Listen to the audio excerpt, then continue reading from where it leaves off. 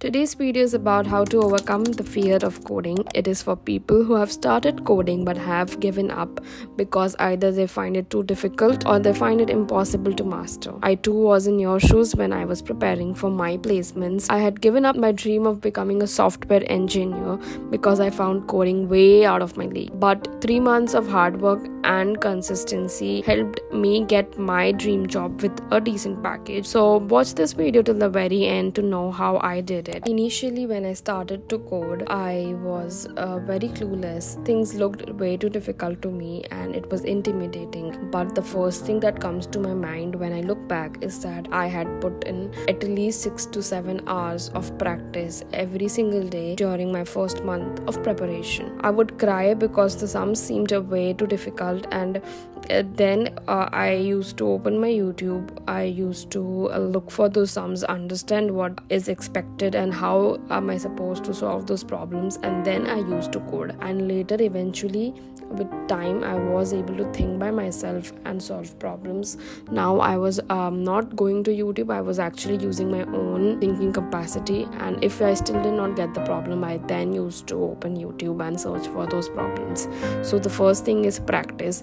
No matter how difficult it is, you need to put in the hours. A sum is taking more than two hours. It is okay initially. You need to put in those time and set small targets and start with that. Don't think that you will be able to solve seven out of seven problems on the first day itself. If you solve even three problems, it is a good start. Practice was the only way by which I was able to make myself like coding. And the next thing that comes to my mind is that to have a friend or a coding partner with whom you can have day to day discussions about things that they found difficult, things that you have uh, come across. In this way, you have someone who will keep you accountable. You will also have a healthy competition with them. You can also push each other and help each other out when you have difficulties. And um, the only way of uh, learning something is by teaching.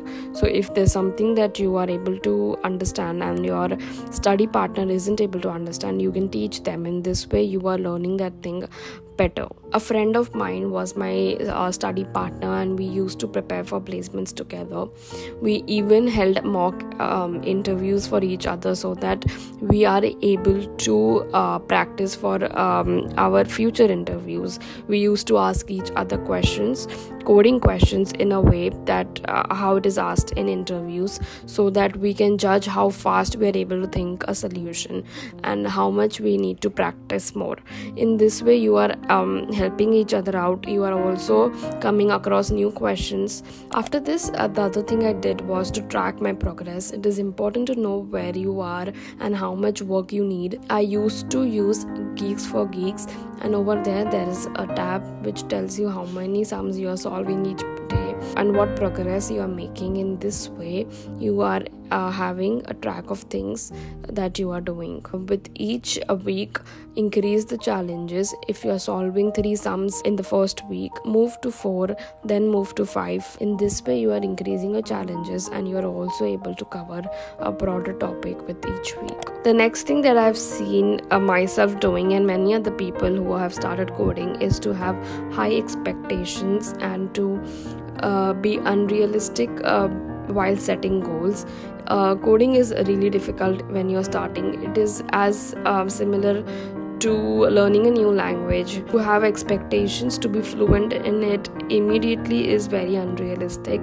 So start uh, with minute goals and easy to achieve goals so that you are motivated. Do that thing. If you set big goals initially and you're not able to achieve them you will be demotivated and you will not be interested in um, carrying forward. So initially i started with arrays and string and i uh, gave arrays around at least 10 to 15 days there were around like 40 problems that i solved only um, around arrays and i was giving myself good amount of time to understand each and every sum. The topic that i found most difficult was recursion because it was um, getting way too difficult for me to understand the little steps that is uh, there in each problem but i was literally crying when i was doing recursion. But i was telling myself that i cannot give up. And i went on youtube. I searched for a recursion playlist. And I was able to find a YouTuber who had put sums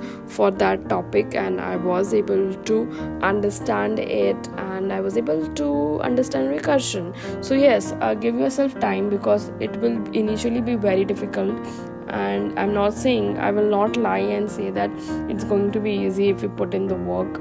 Even after putting all the hard work things will be difficult initially. But it is uh, you who have to tell yourself that it will get easier with time and with patience and with low expectations. Lastly, I would like to say that while preparing uh, for placements and for uh, while practicing coding, the thing that I neglected most was my mental health. I was working every single day and um, it wasn't healthy.